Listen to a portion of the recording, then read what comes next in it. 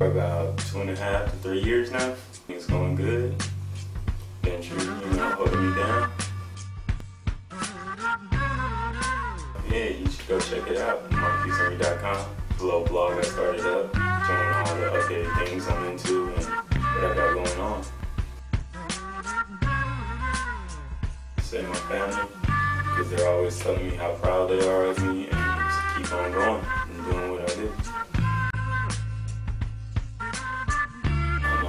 say, just watch Keenan Milton's part, check out the chocolate tour, and you will definitely find out how to block in the front grip.